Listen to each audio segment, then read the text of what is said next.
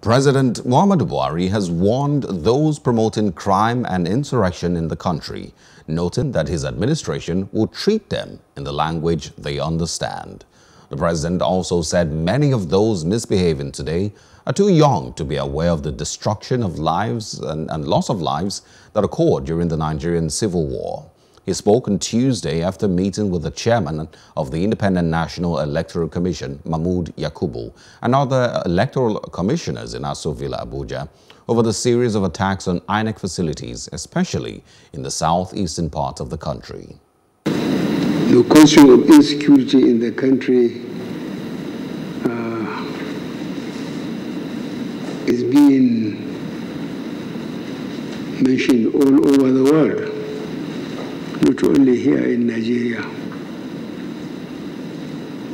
Um, but I believe there are Nigerians that will attempt at least to be fair by what I believed,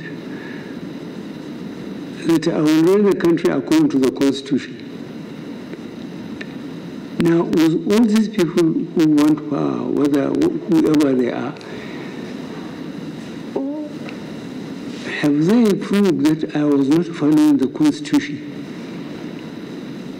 Am I not leading the country according to the Constitution? What do they want? I had one impression which uh, gave me a lot of uh, hope and confidence to continue the way I wanted. So whoever wanted diversion or destruction of the system at this point I think will soon have their shock of their lives.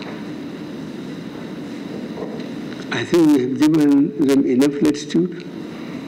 They have made their case. They just wanted to destroy the country. Simple. Because what do they want?